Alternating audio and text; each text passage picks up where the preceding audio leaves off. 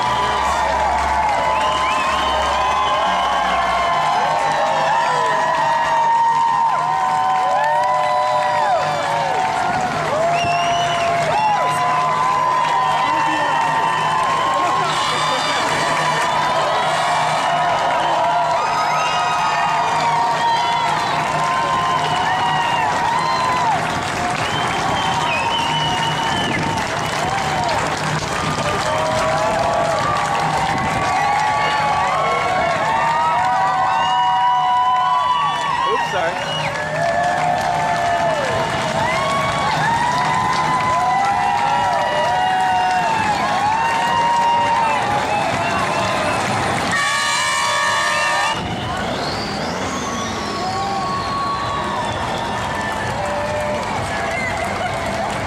And here we got the Veterans for Peace.org uh, marching with their signs held high. So pretty. That's very cool with their with their rainbow flags.